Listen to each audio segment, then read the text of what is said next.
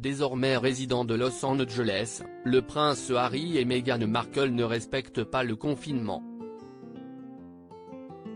Mais, rassurez-vous, si est pour la très bonne cause. Le Daily Mail dévoile, en effet, ce vendredi 17 avril, un cliché inédit du couple lors de la distribution de repas à des personnes particulièrement fragiles face au coronavirus, au profit de l'association Project Angel Food.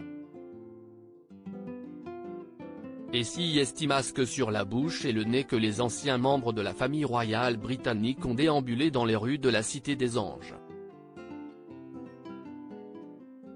Plus précisément, le prince Harry portait un bandana bleu en guise de masque tandis que Meghan Markle, quant à elle, portait, bel et bien, un masque chirurgical. Pour l'occasion, ils portaient tous les deux une tenue très décontractée. Une des personnes aidées par Meghan et Harry, mon téléphone a sonné et une dame a dit, Salut, si estime Meghan Dan Tyrell, âgé de 53 ans et séropositif, raconte sa surprise quand il a vu débarquer à sa porte les parents du petit Archie. Mon téléphone a sonné et une dame a dit, Salut, si estime Meghan de Project Angel Food.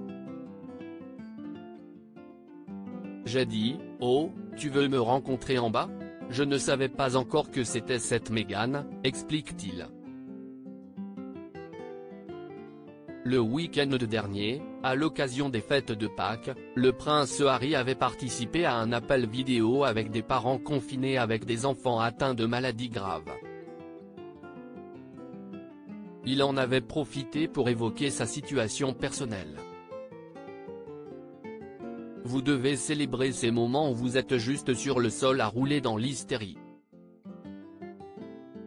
Inévitablement, une demi-heure plus tard, peut-être un jour plus tard, vous allez devoir faire face à quelque chose et vous ne pouvez pas vous enfuir, avait confié le prince Harry à ce qu'il qualifiait de super parents.